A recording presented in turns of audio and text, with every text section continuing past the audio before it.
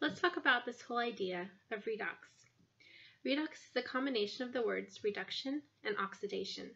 Oxidation is the loss of electrons and reduction is the gain of electrons.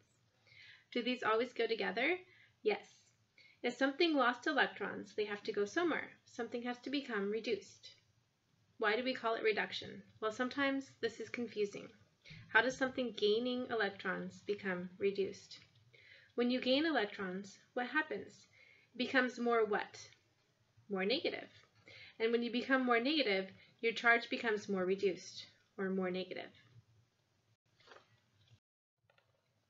So from this you can see that an atom cannot become oxidized without another atom becoming reduced.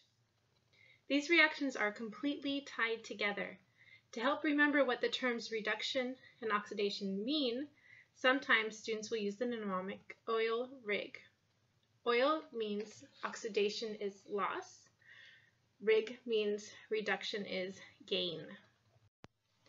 There are three ways of representing redox reactions, which are shown here. This is the same reaction written in all three ways. The reactants are acetaldehyde, NADH, and a proton. The products are ethanol and NAD+. Let's look at option 3, where the reactants and products have been broken down into two half reactions. The top reaction here is the reduction half, and the bottom reaction is the oxidation half. We know this because of where the electrons appear in the half reaction. If to form ethanol we need to add two electrons to acetaldehyde, then we know that ethanol is the product of adding two electrons onto acetaldehyde. And we know that reduction is gain of electrons. Let's look at the oxidation half reaction. If we look at the before and after, if we removed two electrons from NADH, we produce NAD+.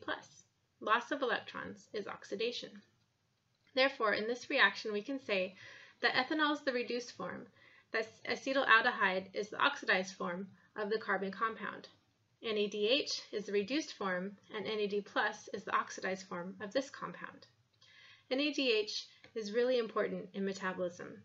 You're going to see this compound over and over again. This is an electron carrier. It moves electrons from one place to another in the cell. So when you see it as a reactant or a product of a reaction, you automatically know that it is a redox reaction.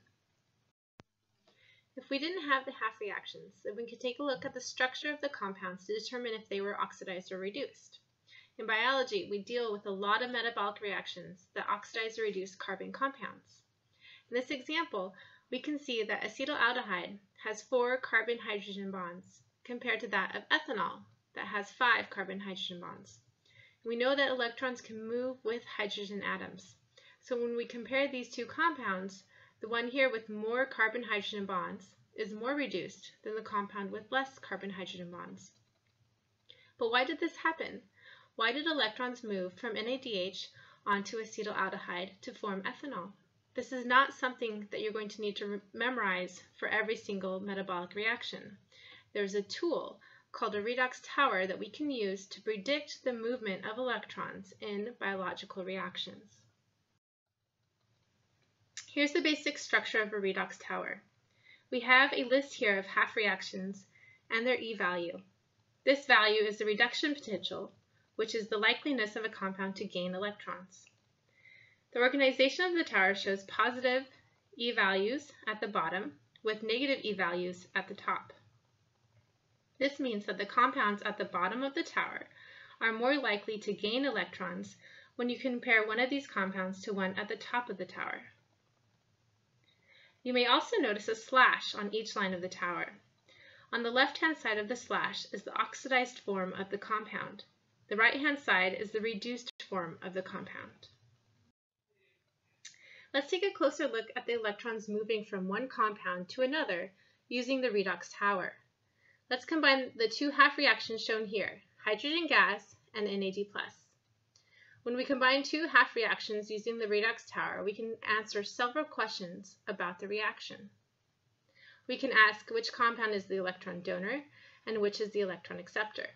Using just the information in the tower, we can see that the NAD half reaction sits below hydrogen gas on the tower, and compounds that sit lower on the tower are more likely to gain electrons.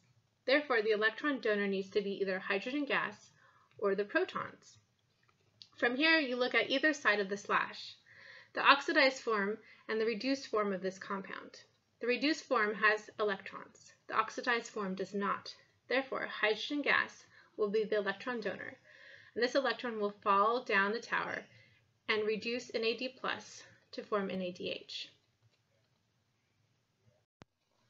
Let's look at one more reaction. This is an equation often used to represent the many reactions involved in central metabolism. First, let's find our two half reactions. Glucose is here at the top, and oxygen is here at the bottom of this tower. Let's ask our questions again. Which compound is the electron donor, and which is the electron acceptor? The glucose half reaction is above the oxygen half reaction. Therefore, the reduced compound of the top half reaction will act as our electron donor.